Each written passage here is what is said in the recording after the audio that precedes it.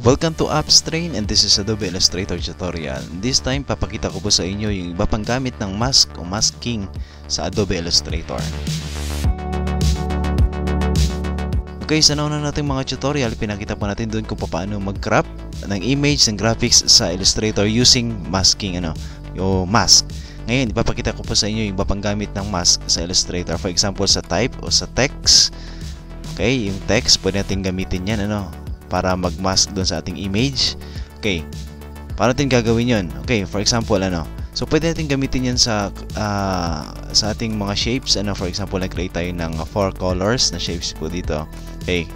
Select. Click po na click po natin, click drag para ma-select po natin yung apat and dali natin dito. Okay. Make sure lang natin ano, yung text ano, yung text po natin na gagamitin ay naka uh, naka sa ano siya no, sa harap siya ano. For example, right click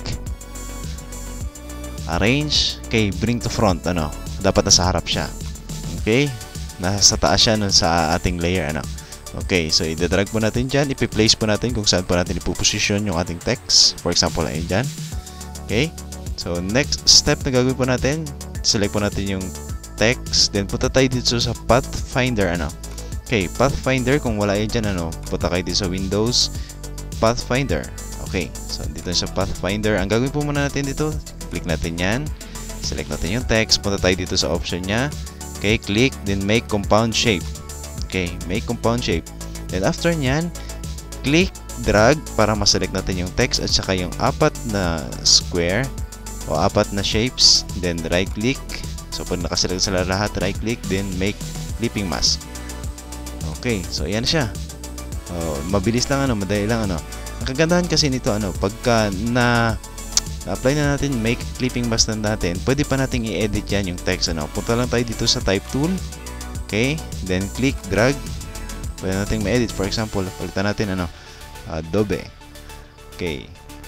Selection tool. Ayan. So, pwede nating ma-edit ano. Ayan. So, nag-apply pa rin yung mask niya kahit i-edit pa natin yung text. Editable siya. Ano. Basta, gagawin lang natin, i-compound, make compound shape lang tayo.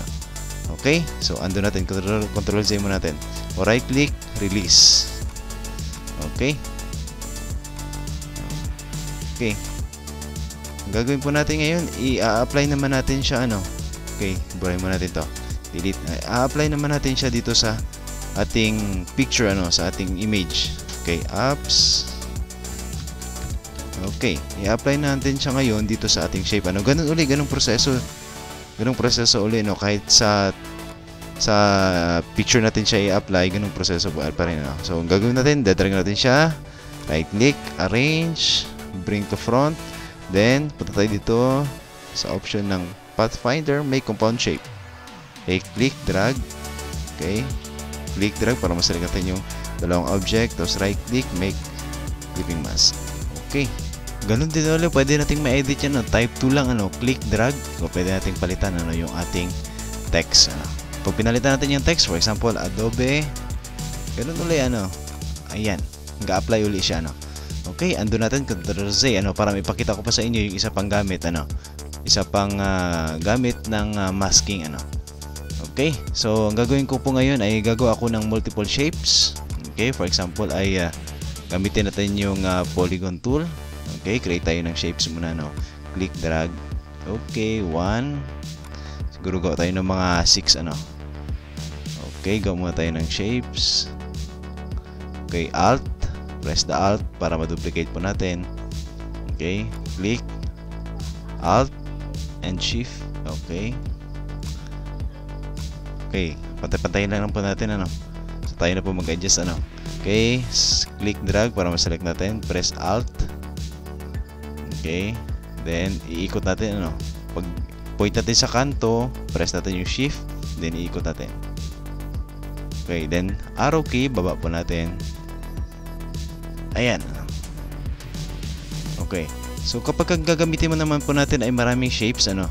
Okay, click, drag, select natin. So, dito natin siya i-apply, ano.